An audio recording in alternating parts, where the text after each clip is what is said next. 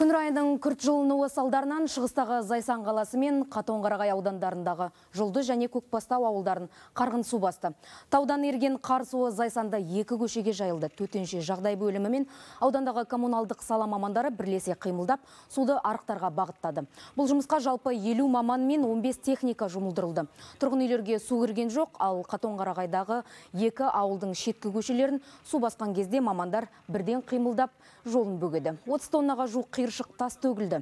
Үйлердің ауласына жиналған су арнайы құрылғымен сорғызылды. Өскемен қаласындағы Ахмер кентіндегі бірнеше тұрғын үйдің ауласында су басты. Коммуналдық сала мамандары 5 техникамен келіп, суды арықтарға бұрып, жеке үйлерін қоршап қиыршық тас төкті.